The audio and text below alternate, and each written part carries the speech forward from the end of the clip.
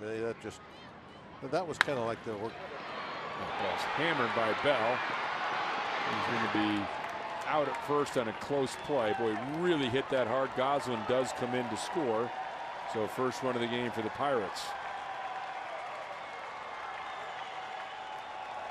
But the overall, uh, the top numbers of the velocity, that that's probably a